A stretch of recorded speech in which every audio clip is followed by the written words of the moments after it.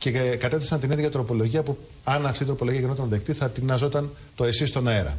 Ναι. Ένα λοιπόν ίδιο με το, με το ΣΥΡΙΖΑ οι τροπολογίες. Ένα ίδιο με το ΣΥΡΙΖΑ βίντεο κοπτοραπτικής στα μέσα κοινωνικής δικτύωσης. Ε, αυτό που μένει στον κύριο Ανδρουλάκη για να γίνει κανονικός ε, ΣΥΡΙΖΑ είναι να βρει ένα συμπαθές σκυλάκι όπως ε, η συμπαθέστατη Φάρλη, για να κάνουμε και λίγο πλάκα για να δέσει το γλυκό.